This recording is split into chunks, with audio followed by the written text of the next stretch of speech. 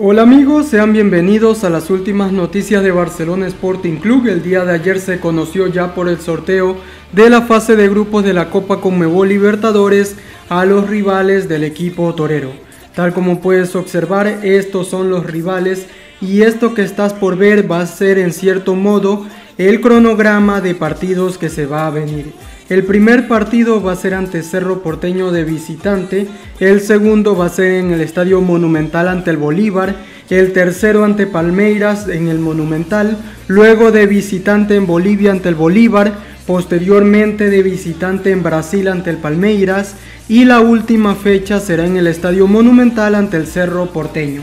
A ver aquí tenemos ya un arranque de visitante en Paraguay y por supuesto esperemos y el nivel crezca.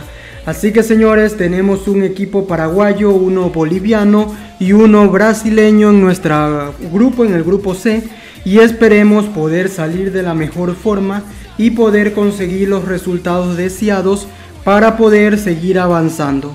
Al menos contando viendo los grupos que le tocaron a los demás equipos del fútbol ecuatoriano, tanto Independiente del Valle como a Sociedad Deportiva Aucas, en cierto modo no nos tocó un grupo tan complicado.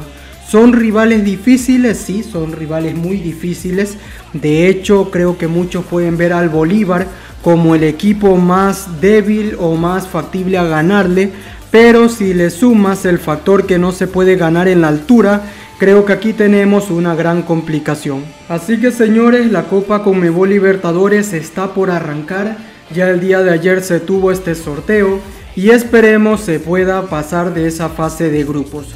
Ya tal como les mencioné, ya sea el rival grande o pequeño, el enfoque aquí tiene que ser más dirigido en cuanto al rendimiento que tiene hoy por hoy el plantel torero, en cuanto a cómo tiene que mejorar en su fútbol y también las herramientas que hoy por hoy tiene Fabián Bustos.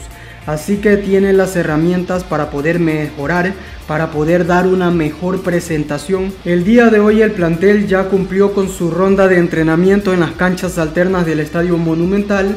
Posteriormente a ello, mañana se estará replicando lo mismo ya que terminado el partido, en este caso ya amistoso de la selección, en cierto modo la Liga Pro retorna a su normalidad.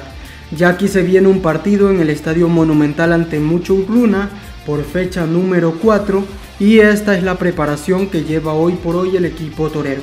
Ya obviamente aquí se suma una segunda competición, una competición que en cierto modo ya tiene un matiz internacional, una competición que en cierta medida para muchos de los barcelonistas, y me incluyo, es una de las prioridades de este año 2023, ya que más allá de ser campeón del torneo ecuatoriano, el poder tener una gran participación en torneo internacional es un plus para la institución.